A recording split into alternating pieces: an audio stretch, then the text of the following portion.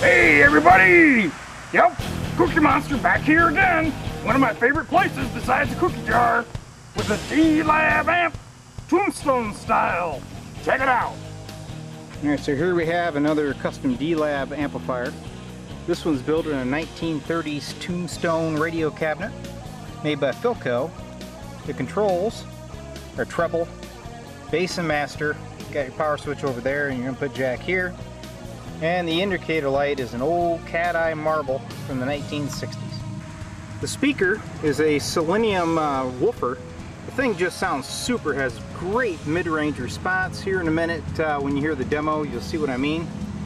The amp is a 6v6 push-pull based amp and the transformers that I used are made by Gretsch. Very famous amp maker. These are very vintage transformers and when you hear it you'll understand why. And on the back I have a uh, speaker select switch. You have your internal speaker which is the built-in 8 inch. Then you can go 4, 8, or 16 ohm for your external and you would plug that in right here. Tube lineup you got a 5Y3 back here. Of course your pair of 6V6s. Um, you got a 12AT7 back there as your phase inverter and a 12AX7 as your input preamp. Well, it's pretty much a one-of-a-kind D-Lab amp. I spent probably months working on this amp, refining it, getting the look that I wanted. So um, if you bet on it, I think you'd be very happy. And uh, the sound is just out of this world. Take a listen to the demo. Hi there, it's Tony. I'm right here at the uh, bench in D-Lab with Terry, uh, showing off his newest Tombstone amp. This is a 6v6 push-pull amp.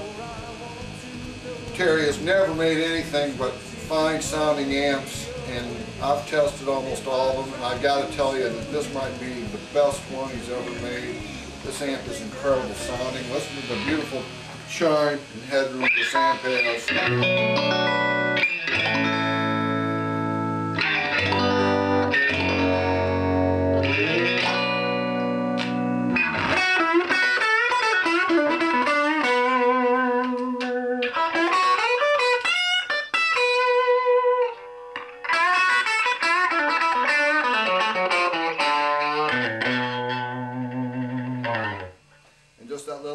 Extra bit to push it and it just sounds like a million bucks.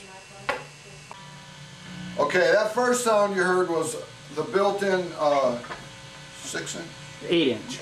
built-in eight inch speaker that was in the cabinet.